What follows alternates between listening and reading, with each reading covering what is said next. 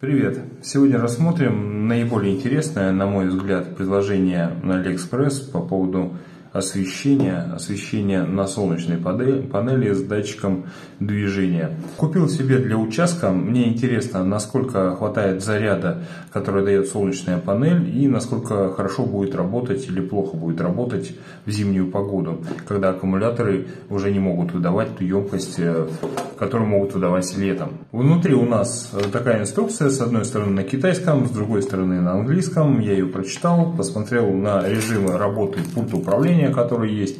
А также как раз есть запись, что а, в зимнее время использовать режим а, Mode 1. Это работа по датчику движения. Сам пульт небольшой, э, на маленькой батарейке, чтобы он работал отсюда, нужно было вытащить пленочку для сохранения заряда батареи, а, включение-выключение и три режима работы. Сам светильник выглядит таким образом, у него подвижные части боковые. На тыльной стороне имеется переключатель, включение-выключение, а также переключатели режимов. Также под такой резиновой заглушкой имеется вход для э, подсоединения солнечной панели. Далее солнечная панель, э, длинный шнур, по-моему, около 4 метров который подсоединяется к светильнику. Кстати, сам светильник может э, идти с интегрированной солнечной панелью. Я взял вариант со шнуром. Там рублей 200 э, подороже, но зато можно э, поставить это на солнце, а это в какое-нибудь место, где солнца нету. Заявленные характеристики солнечной панели 1,8 Вт, 5,5 вольта. Степень водонепроницаемости IP65. Это означает, что защищен от попадания брызг и влаги. То есть под дождем он может работать. Но меня интересует вопрос, как он будет работать на морозе. Сейчас на улице минус 5 градусов.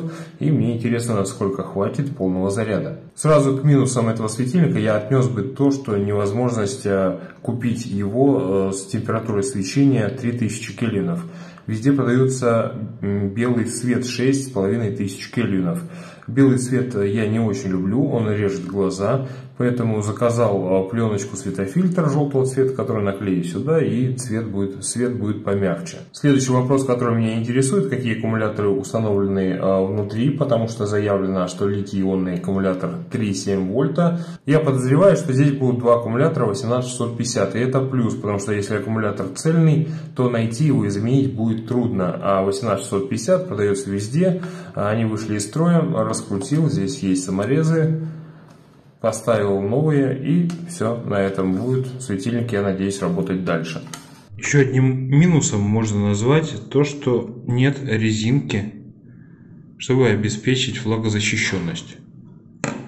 Поэтому наклонять лучше таким образом вниз, чтобы вода не попадала вовнутрь. Снял переднюю крышку, внутри две батареи 18650. К сожалению, маркировки никакой нет. Угол обзора датчика движения 120 градусов. Работает, я уже проверил, он на расстоянии около 3-4 метров. Дальше он не берет. И расстояние работы пульта около 5-8 метров. Ну, в зависимости от угла работает немножко по-разному. Теперь о режимах работы. Первый режим – работа по датчику движения. Задержка около 20 секунд. Если сейчас движения не будет, то он должен погаснуть. Вот погас и снова я двинулся и снова он загорелся. Первый режим работает. Второй режим работает на 10% яркости. При появлении движения э, переходит на 100% яркость.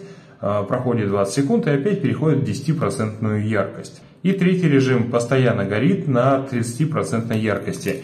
Данный режим явно подходит э, исключительно для лета, когда э, световой день э, очень длинный. Вообще в идеальных условиях он должен светить до 8 часов. Зимой, я думаю, это будет около полутора-двух часов. Переключаем в режим постоянного горения. Как только попадает свет на солнечную панель, он выключается. Это значит наступил день. Сейчас имитируем ночь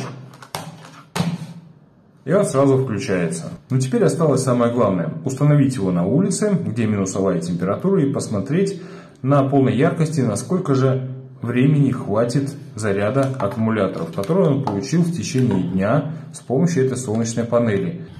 Ну что ж, включил я режим работы по датчику движения. потому что в режиме постоянного горения он, как и предполагалось, проработал полтора часа. В целом освещает неплохо, если проходишь, срабатывает в районе 5 метров.